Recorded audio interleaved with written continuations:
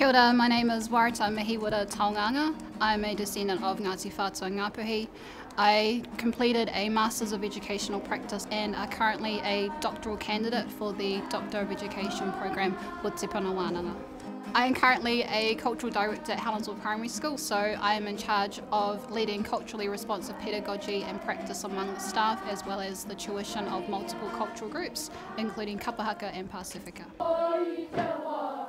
I love working here within my own community. I love being on the grounds level of education. So when you go to university and you learn about all this research, it's actually more beneficial putting it into practice where you feel like you are making a true difference. And being among that change is very inspiring, very motivating. The Masters of Educational Practice had a key focus on leadership, and I really thought that that was an area of my professional development that I needed support with. Te Puna Wānanga and the University of Auckland have a very high profile in education. Having previously studied my Bachelor's of Education with the University of Auckland, I had already known that that was going to be my place. I felt like I belonged. I felt as if I was going to be continuously pushed to challenge myself, but in a good way. I also decided to follow this journey for my people, for my whānau, for my community, to give back to the people that made my life the way that it is now.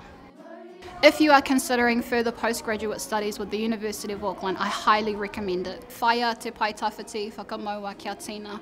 Um, tūwhitia te hopo, feel the fear and do it anyway. If you are ready for a change, if you're ready for positive development within yourself, within your career as well, I say go for it.